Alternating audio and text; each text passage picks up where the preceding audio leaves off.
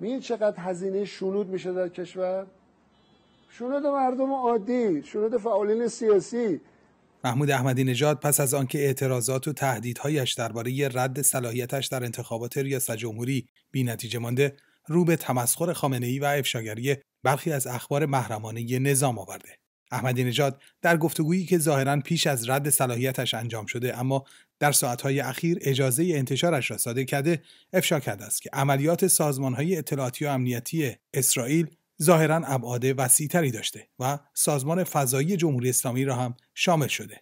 احمدی نژاد ضمن افشای این خبر که انفجار اخیر در مرکز غنیسازی نتنز 10 میلیارد دلار به کشور خسارت وارد کرده خبر روبوده شدن اسناد هسته‌ای از ترقوز آباد را بار دیگر تایید کرده و گفته جاسوسان در عملیاتی با سوراخ کردن سقف ساختمان سازمان فضایی ایران اسناد محرمانی حکومت را به سرقت بردند. آقا کجا دستگاه اطلاعاتی تو قانون نوشتن تو باید فعالین سیاسی رو کنترل کنی؟ خلاف قانون شنود می‌کنن مردم رو. نگهبان می‌ذارن همین در خونه ما دور برای چی دوربین گذاشته اونجا؟ خب مراقب شما باشن آسیبی نرسه. خب همین.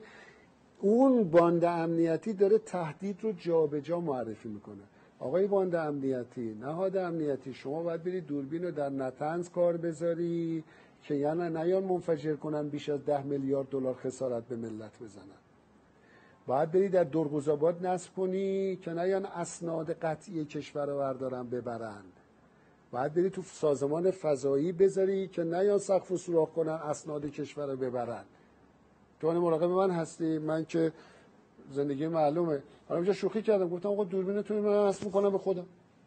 آنلاین براتون پخش می‌کنم. شما داری تهدید خیانت می‌کنی به کشور. شما داری فرصت رو تهدید معرفی می‌کنی. رو قضاوت های شخصی خودت. تا کنون هیچ منبع و مقام دیگری سرقت اسناد مرتبط با برنامه فضایی جمهوری اسلامی را. آن هم در عملیاتی شبیه فیلم های هالیوودی افشا نکرده بود و این خبر نخستین بار توسط احمدی نژاد افشا شده. این خبر و رویدادهای دیگر نشان می‌دهد نهادهای اطلاعاتی و امنیتی غربی به ویژه اسرائیلی به تمام نهادهای حساس جمهوری اسلامی رخنه کردند و حتی از مکان نگهداری اسناد و مدارک هم باخبرند و هر زمان که دلشان می‌خواهد تهیه عملیات این اسناد را میدزدند و با خود می‌برند. مردم هم یک حقوقی دارن بر حکومت. یه طرفه که نیست. یا همه مردم موظفن حقوق حکومت رو رعایت کنن. یعنی هر تصمیم حکومت گیره بگن چشم. اما احمدی نژاد در ساعت اخیر با یک گفتگوی جنجالی دیگر خبرساز شده. گفتگویی که او در آن اقدام به تمسخر خامنه ای کرده. احمدی نژاد با تمسخر اظهارات رهبر جمهوری اسلامی درباره آنکه انتخابات مایه افتخار، اقتدار و عزت نظام است گفته این اظهارات در حالی بیان می شود که همه مردم ایران با سختی و دشواری دست و پنجه نرم می کنند. استانداری، وزیری، وکیلی، مجلسی، کسی همینطوری بگی برو بالا. میاد منصوب میشه صلاحیت لازم رو نداره. بعد به مردم تصمیماتش تبعیت کن. این چطور میشه؟ یه بحث دوم ها. بحث اول این که جابجایی اتفاق افتاده. که انه همه مردم در خدمت حکومت و ماندگاری حکومت هست در حالی که حکومت هیچ اصالتی ندارد هیچ وجودی ندارد جز تبلور اراده مردم و تأمین حقوق اساسی مردم. مجرای تحقق حقوق اساسی مردم هست. یه جا به جای اتفاق افتاد چون ادبیات هم جا افتاد شما ادبیات همه نظام عزت نظام قدرت نظام افتخار نظام پیروزی نظام موفقیت نظام.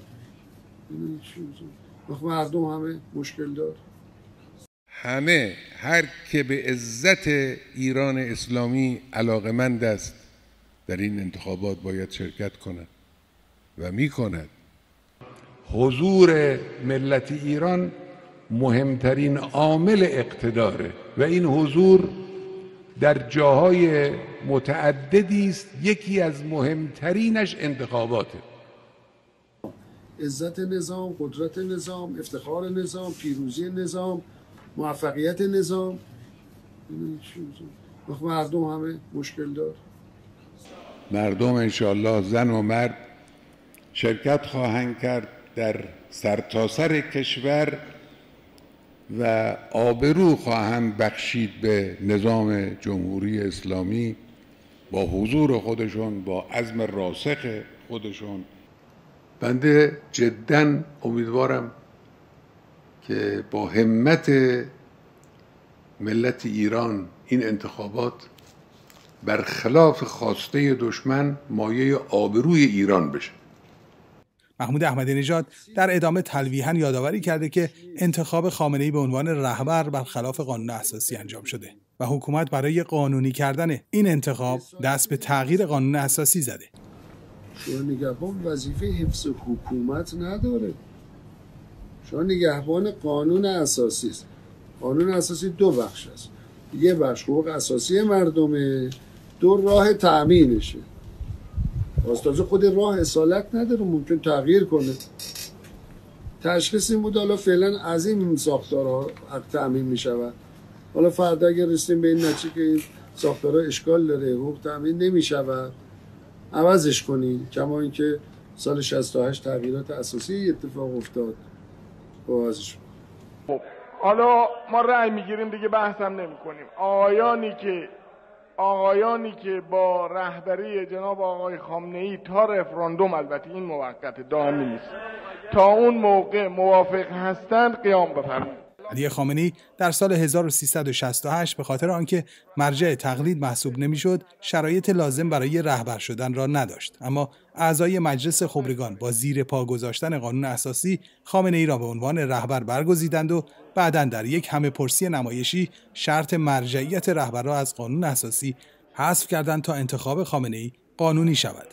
موقت گفتم داره اعلام نمیشه نه. حالا میگه اراسالیت شد اصلا نه دنبال اراسالیت من باشه. چون دوباره اراسالیت شده است مردم هم مهر تایید زدن. احمدی نژاد در ادامه به اظهارات روز پنجشنبه خامنه ای هم که گفته بود عدم احراز صلاحیت نامزدها به معنای عدم صلاحیت نیست پاسخ داد. البته عدم احراز صلاحیت به معنای بیصلاحیتی نیست. عدم احراز صلاحیت معناش این است که شورای نگهبان نتوانست تشخیص بده که این آقا صلاحیت داره. باید بیاد در تلویزیون زنده منم باشم. سندتون رو بدید. به چه دلیل رد کردیم همین میگه ما دلیل نمی‌خواد ما احراز نکردیم. یعنی چی دلیل نمی‌خواد ما احراز نکردیم؟ مسئولی در مقابل تصمیم باید جواب بدید. بنده هم میام بشینیم بحث کنیم. مردم هم قضاوت کنن بحث شخصی نیست احمدی نژاد دو دوره ریاست جمهوریش را مدیون سازوکار حاکم بر جمهوری اسلامی و تقلب گسترده به خواست خامنه است. او اکنون با استناد به همان دو دوره می‌گوید تصمیم شورای نگهبان مبنی بر رد صلاحیتش را قبول ندارد و انتخابات را تحریم می کند. گفتم من شرکت نمی کنم در این انتخابات. از هیچ حمایت نمی نه به خاطر شخص خودم. به خاطر اصلاح وضع. به خاطر دفاع از حقوق ملت. تا چی رد کردی؟ بیا بیشین سندش رو بده جوابتو بگیر. از همه امکانات دشمنان ما استفاده می‌کنن. هم دشمنانمون هم کسانی در داخل که دانسته یا ندانسته دنبال حرف اونها رو می‌گیرن و تکرار می‌کنن اونها رو. تلاش می‌کنن که این انتخابات رو مایه سرشکستگی ملت قرار بده احمدی نژاد در ادامه از سخنگوی شورای نگهبان که گفته بود پایین بودن میزان مشارکت مردم مشروعیت انتخابات را زیر سوال نمی‌برد به شدت انتقاد کرد. میشنویم از افراد که این حرفا جدیده. سخنگوی شورای نگهبان میاد دیگه که مشارکت پایین خدشی بر مشروعیت انتخابات وارد نمی‌کنه.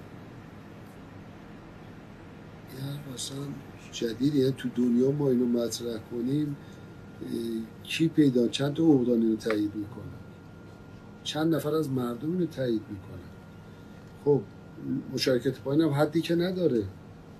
این در واقع داره اصل رأی مردم رو نفی می‌کنه. اصل مشارکت مردم یعنی در واقع کل قانون اساسی داره می‌ذاری کنار. میگه نه اصلا رفتی نداره. مشارکت هم نبود مهم نیست. ما کار خودمون می‌کنیم. یعنی اصلا حکومت یه اصالتی بده برای خودش یه جایگاهی بدون حضور مردم بدون نقش مردم تعریف کرده. این بزرگترین انحراف از قانون اساسی است. بزرگترین انحراف در انقلابه. که یه میگن؟ ما ربطی به مردم نداریم. چه کار داریم به مردم؟ به سراحت اومده میگه. اون وقت جالبه این عضو حقوقدان شورای نگهبان قانون اساسی. با انتظار داره که ما فکر کنیم وظیفهشون خوب دارن انجام میدن. توده های مردم واسه حاضر نیستن برن تو خیابونا بپرسن. اصلا به نظر سنجی بذارن. آقا شما این حرفایی که می‌زنی آیا این مردم قبول دارن یا نه؟ چون شورای نگهبان مسئول سیانت از حقوق مردمه و رکن اصلی و اولین حق مردم حق انتخابه و حق تعیین سرنوشته.